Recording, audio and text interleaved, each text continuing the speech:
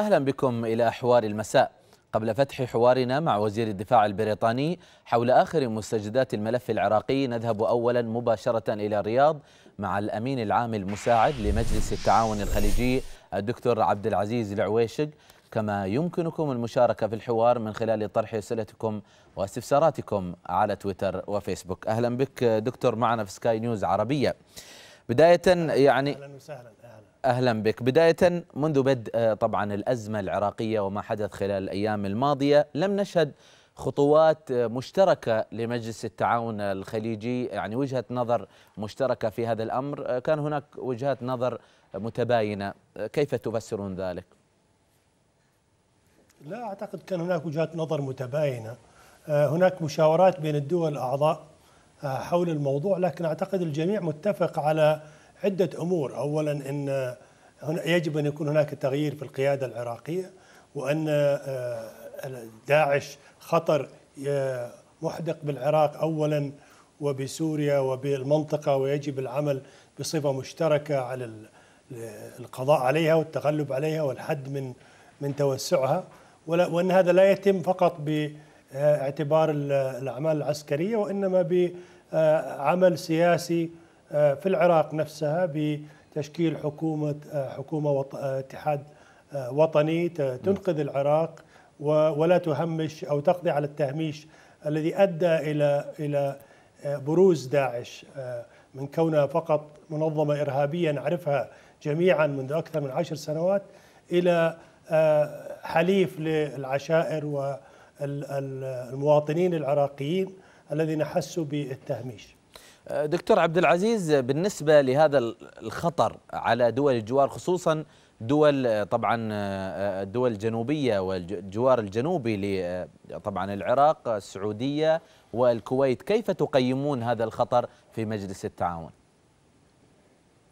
أعتقد جميع المنظمات الإرهابية التي تعمل في العراق أو في سوريا أو في غيرها في أفغانستان تشكل خطر على الأمن الإقليمي، تشكل خطر على الأمن العالمي، ودول المجلس من آه، آه، منذ فترة طويلة وهي تحذر من من آه، نشأة أولا هذه المجموعات ثم تزايد نفوذها وتعمل بشكل قوي بالتنسيق ما بينها من خلال الاتفاقية الأمنية وغيرها وأيضا بالتعاون مع الشركاء في المنطقة وخارج المنطقة لل- للقضاء على هذه المنظمات.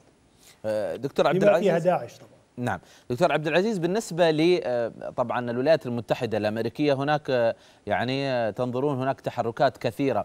ماذا يطلب مجلس التعاون من الولايات المتحدة أو القوى العظمى يعني المختصة في آه، الأزمة العراقية؟ ما هو الطلب أو ماذا تنتظر من الولايات المتحدة؟ طبعا فيما يتعلق بمحاربة الإرهاب هناك تعاون وثيق مع الولايات المتحدة سواء على المستوى الثنائي بين دول أعضاء في مجلس التعاون أو على المستوى الجماعي. من فترة قريبة عقد اجتماع موسع للمسؤولين الأمنيين في دول مجلس التعاون وفي ال- الولايات المتحدة وناقش بالدرجة الأولى مكافحة الإرهاب. هذه من ناحية لكن يجب أن لا ننظر إلى الأزمة في العراق وإلى خطر داعش من هذه الزاوية فقط مع أنها زاوية مهمة. يجب أن نعمل بصفة متوازية من ناحية حل سياسي آه، ينهي الأزمة السياسية في العراق ويسمح لجميع مكونات العراق بالمشاركة بفعالية وبعدل في إدارة شؤون العراق وفي نفس الوقت يستمر العمل ل- لمكافحة داعش وغيرها. طبعا دكتور عبد العزيز كان هناك شبه قطيعة يعني بعض دول مجلس التعاون وبغداد. هل هناك تواصل الآن من قبل المجلس من قبل الأمانة لربما إيجاد حلول إيجاد آه، يعني حلحلة لهذه الأزمة؟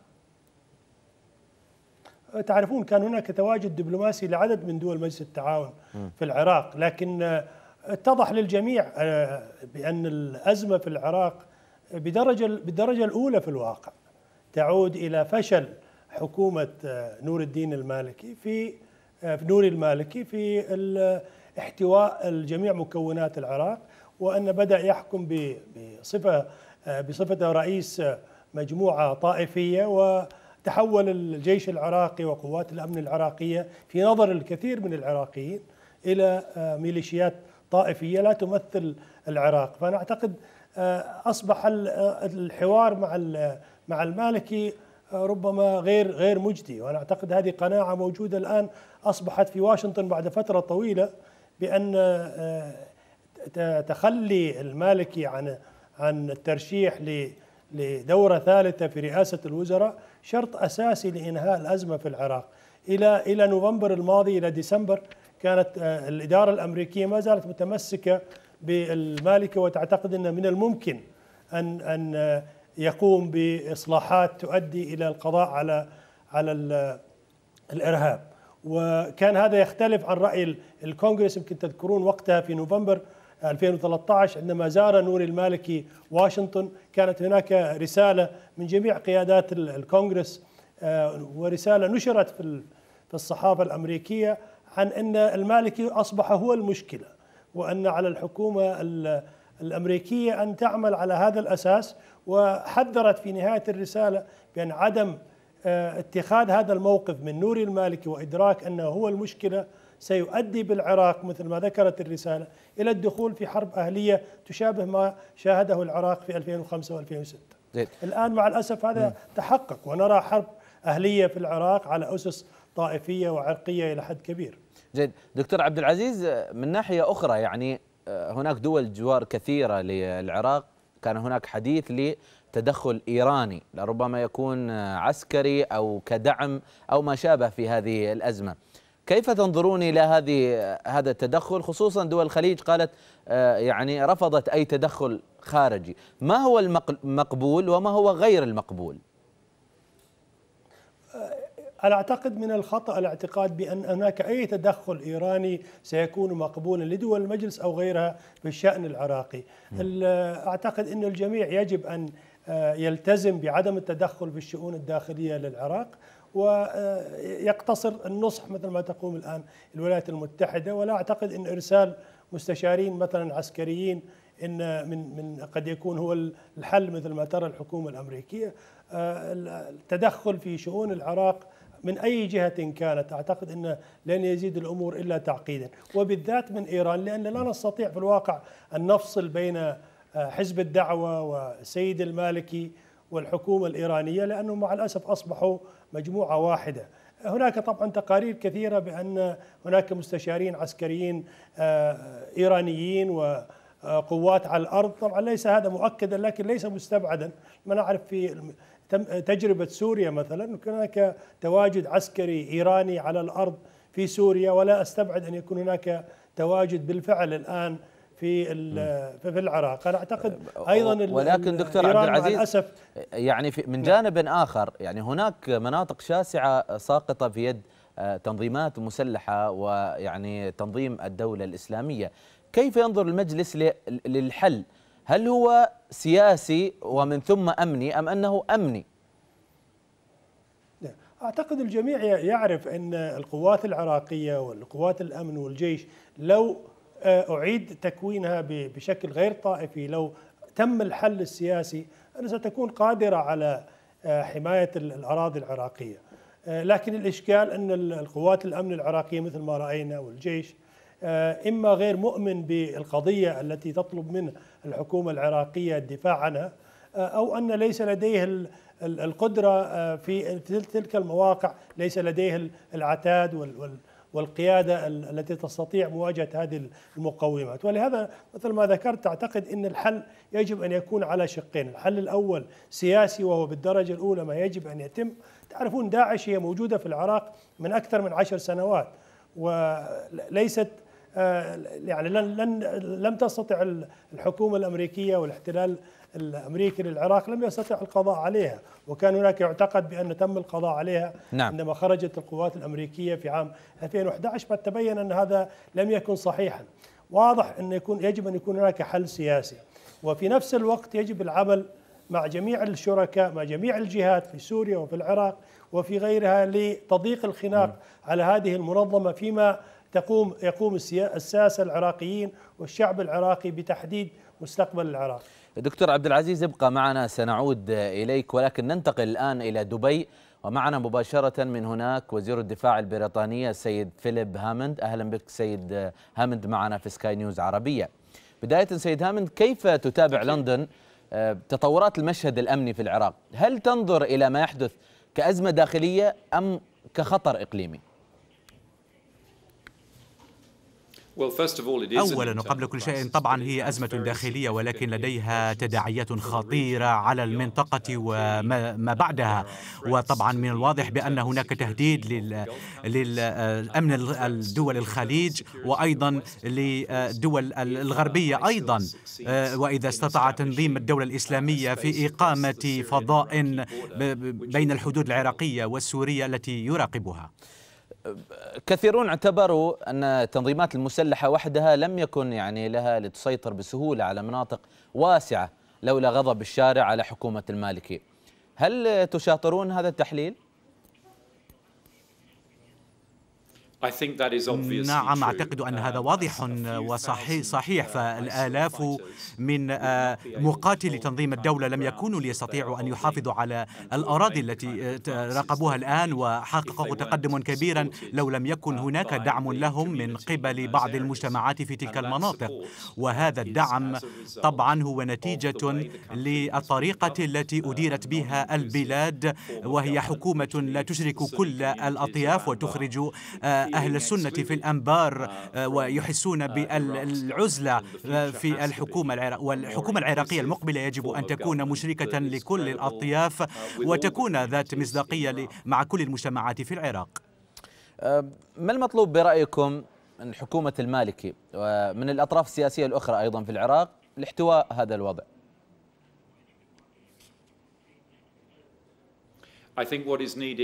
ما نحن بحاجة إليه على المستوى السياسي هو هو إظهار قوي وسريع من الحكومة العراقية بأنها تنوي أن تغير طريقة تعاملها وتضمن أن تكون مشركة تشرك الجميع.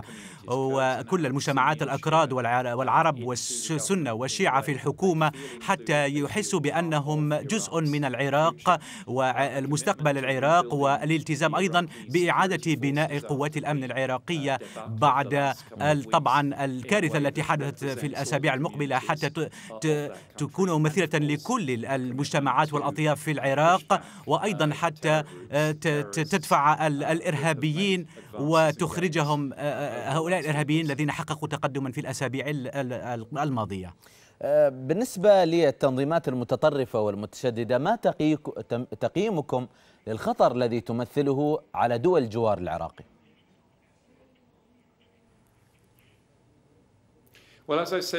كما قلت قبلا فإن إذا استطاع تنظيم الدولة الإسلامية من إقامة منطقة يتحكم فيها آه، ويراقب فيها آه، من جهة سوريا ومن الجهة العراقية فإن هذا سيصبح تهديدا حقيقيا للاستقرار في لمجلس التعاون الخليجي وأيضا للدول الغربية أيضا وهذا سيصبح قاعدة حيث ينطلق منها تنطلق منها الهجمات الإرهابية وحيث حيث يتدرب الإرهابيون ولذلك من المهم جدا أن يكون الرد آه، آه، مثمرا أو ردنا قويا آه، ومن قبل الحكومة العراقية أيضا حتى نحارب ونهزم الإرهاب ونراقب ذلك الفضاء ونحافظ على وحدة الحكومة أو الدولة العراقية.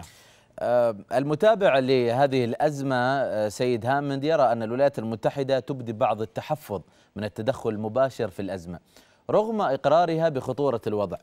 هل بدوركم متحفظون وما السبب في ذلك؟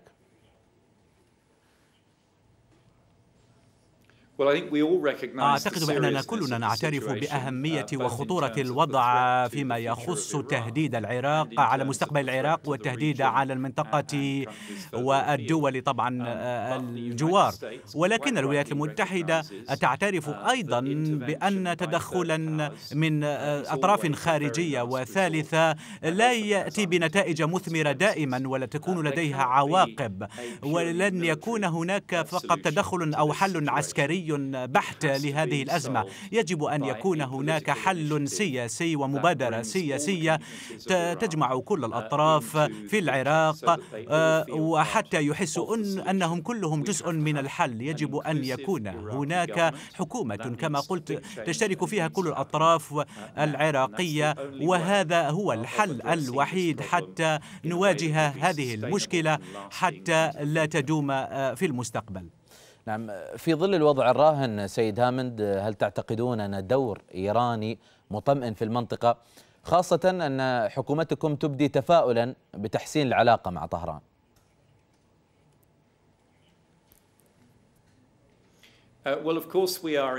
نحن نعم منخرطون مع الإيرانيين في في المفاوضات النووية ثلاثة زائد ثلاثة بشأن البرنامج النووي الإيراني وهناك تحديات كبيرة باقية ولكننا طبعا نأمل أن يكون هناك حل ونستصل إلى اتفاق جيد آه، يكون آه، يصب في مصلحة الجميع ويضمن أن يكون هناك آه، مستقبل مستقر لإيران حتى لا تصبح قوة أو لديها سلاح نووي. ولكن لدينا أيضا قلق بشأن النشاطات الإيرانية الأخرى في المنطقة. النشاطات مثلا في البلدان في المحيطة بالخليج ونحن لم نصرف نظرنا عن تلك التحركات. ورغم إعادة سفارتنا هناك فإنه ليس هناك أي إشارة بأن الإيرانيين يقومون بما يجب فعله نحن أغلقنا سفارتنا هناك لأنه لا نستطيع ضمان أمن موظفين هناك وهناك قلق من الدول الغربية أيضا بشأن التحركات والنشاطات الإيرانية وبعضها أبقى السفارات هناك ولكن أعتقد بأنه علينا أن نفتح سفارتنا مجددا آه، لأن الضمانات التي تلقيناها من الحكومة الإيرانية ستسمح لنا بفعل ذلك وتضمن أيضا سلامة موظفين الذين سيكونون في السفارة سيد هام